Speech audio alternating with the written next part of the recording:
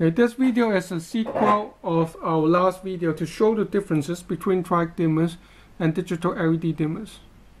In the last video, we pointed out the two critical parameters in order for TRIAC dimmers to work for LED dimming, namely the minimum holding current of the TRIAC IC, which is an unknown, and the amount of current drawn from the load as we dim, which is a variable.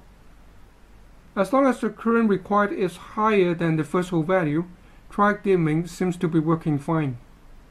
The exception is about the shortened product lifespan caused by leading edge dimming methodology, which is after this, this discussion. So we focus on the specific value of the minimum holding current for this discussion. Now, this particular value for a particular TRIAC IC varies from batch to batch and is subject to the production lot, production site, and the source for the TRIAC IC, etc. And this is the ultimate cause of inconsistent dimming performance. The general users only purchase from arbitrary retail shop. So here we have three dimmers, KB31RD400, that we purchased from the same retail location for our demonstration. Although we don't know the exact value, the threshold values are indeed different and are making the visible impact to the dimming performance. As you'll soon see, all these three dimmers do not work with this LED strip light. So our point here is to, for you to pay attention to the dimming level below which each individual dimmer shows flickering, or the dimmer becomes unstable itself. The instability causes a chain effect to the LED driver which is powered via the dimmer. And as a result of the driver becoming unstable, we then see the visible flickers. Okay, let's try with the first dimmer. And we start dimming from the maximum level here.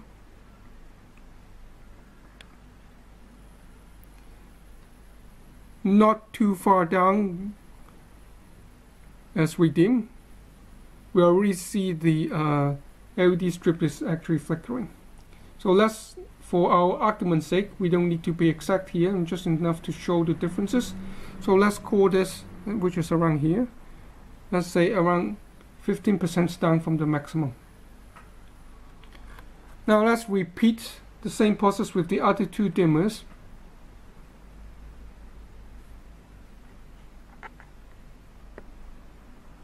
Now this is the second dimmer again we're starting from the maximum. Okay so this is more obvious for the flickering unless which is around here. Okay at this point. So for argument's sake let's say this is 30% now we repeat the process and with the third okay now we repeat the same with the third uh, dimmer. Again, we're starting from the maximum.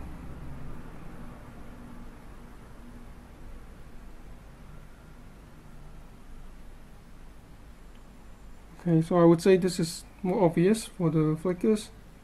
So for this is around, which is here, so it's around say 40% down from the maximum.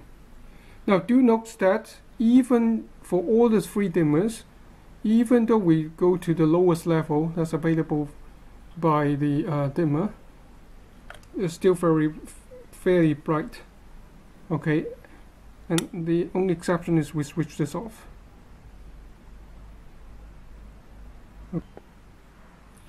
So as we have just shown, the three dimmers, one, two, and three, okay, have different flicker flickering trigger points ranging from 15, 30 to 40% down from the maximum brightness level.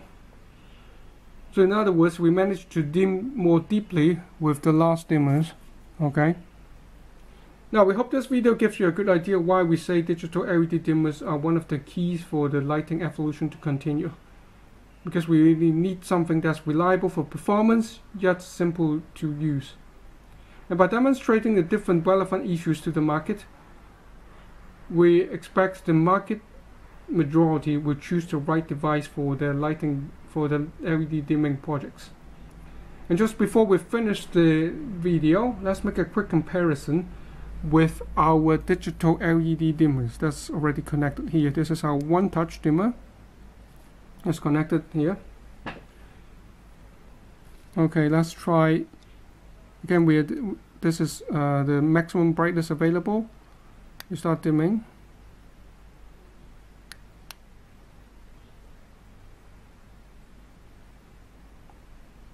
Now once it hits the lowest level then it starts flashing.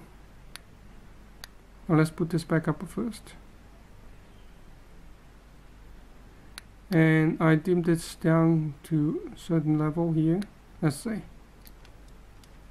Now in addition to the uh, stability issues, the memory recall features of the digital dimmer is great for startup dimming level. So now at this level, now I switch this off. And I switch it on again. You can see that it goes back to the lowest level, to the last brightest level. At the same time, for example, at this point, I would like to set this as the minimum level. And I start dimming to the top at the maximum brightness. Then you can see this is my, my new lowest level and to clear this memory is very simple. We just push the option button down to the reset position. And immediately goes down to the zero. Okay.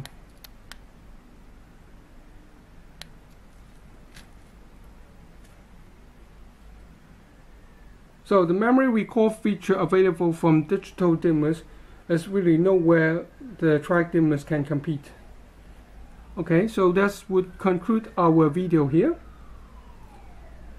To learn more about our dimming technology and product benefits please check out other videos in the series. And thank you for watching.